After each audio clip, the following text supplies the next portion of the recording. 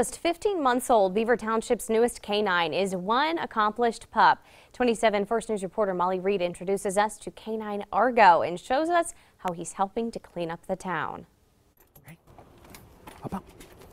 Argo might look like a young German Shepherd, but he has a big job. He started last Thursday. Um, he got a drug arrest right that first that night. We got some crack and heroin. So he, he's just now completed his first week on the job. Argo is Officer Chris Albert's second canine in Beaver Township. His first dog, Hero, retired after seven years of work. So the department applied for a grant with the Ben Roethlisberger Foundation. The organization covered almost $30,000 for Officer Albert's training and the new dog.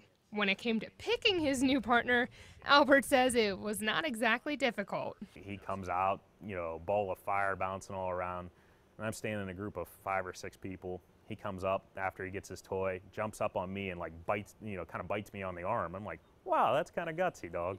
Officer Albert says Argo's best skill is tracking, which can be used for finding evidence or missing people. Of course, it's serious work, but Albert says Argo makes it fun you know, when we're doing the training and everything with the apprehension work, when he catches the bad guy after he's done, he stands next to him and be like, hey, do you want to pet me now? Though these two will be side by side working for the next several years, Officer Albert says it's also a new addition to the family.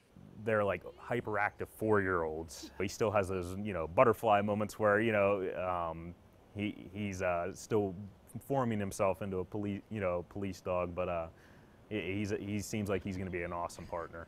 In Beaver, Molly Reed, WKBN 27 First News.